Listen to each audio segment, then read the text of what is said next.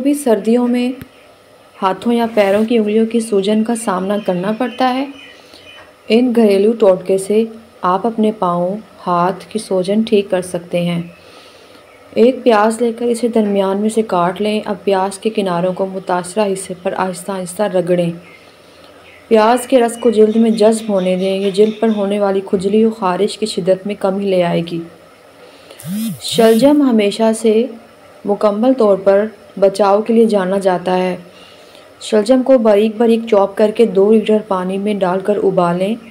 मुतासरा हिस्सों को चंद मिनट के लिए इस पानी में भगो कर रखें।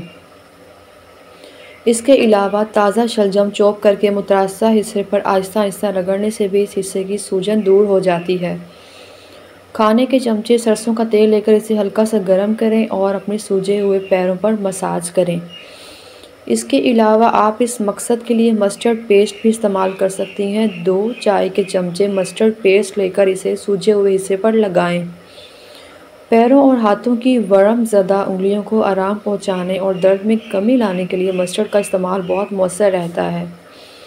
अपने पैरों को ऐसे नीम गर्म पानी में 10-15 मिनट के लिए भगो कर रखें, जिसमें एक दो कप समुद्री नमक शामिल किया गया हो। इस अमल को अपनी उंगलियों के साथ भी दोहराएँ। दिन में दो मरतबा ये अमल करने से आप तीन से पाँच दिन के अंदर अंदर इस मसले से मुकम्मल तौर पर निजात हासिल कर लेंगे। कुछ केसेस में आप महज एक या दो दिन में ही आराम हासिल कर सकती हैं।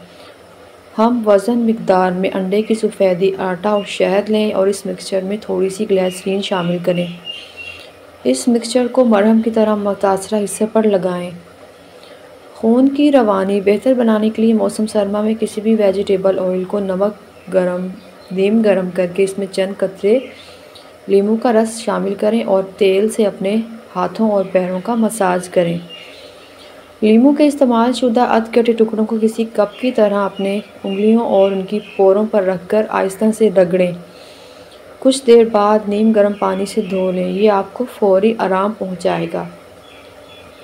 एक आलू लेकर इसके स्लाइस काट लें। आलू के स्लाइस पर थोड़ा सा नमक छिड़क कर इसे मुतासर हिस्सों पर धीरे से रगड़ें। ये जल्द की सुर्खी सोजिश में कमी ले आएगा।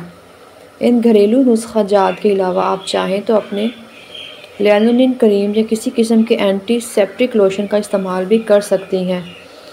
ये इन्फेक्शन के इम्कान को कम करने में मददगार साबित हों।